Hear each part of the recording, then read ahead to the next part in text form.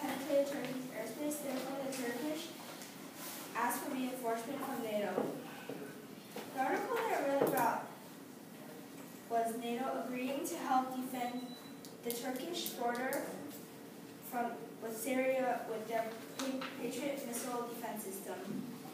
Some of the keywords you should know in the article is NATO, which stands for North Atlantic Treaty Organization.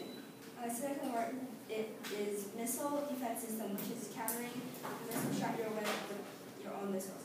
In my opinion, the Syrians shouldn't be complaining since it was their fault that the Turkish got involved, and so they can't blame NATO for helping. So, first question, Anthony. Can I just get Wayne first? Okay, anybody have a question that they would like to ask Natalie? When did it happen?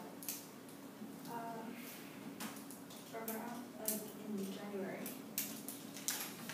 Next question. Next question. Did the Syrian government and media say anything about the missiles? Yeah, they were complaining about it. Um, No, no, one question, next. Joshua. Why did it?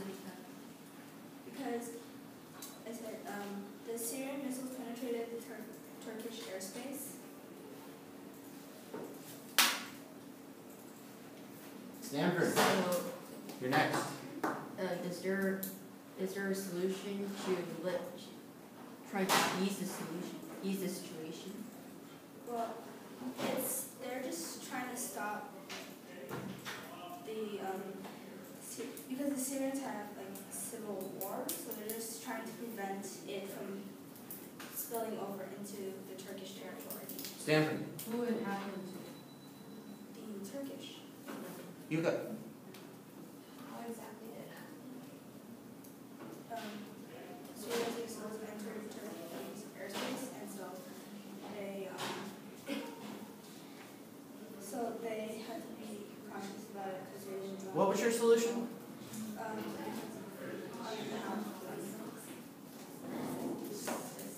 you know, Okay, thank you.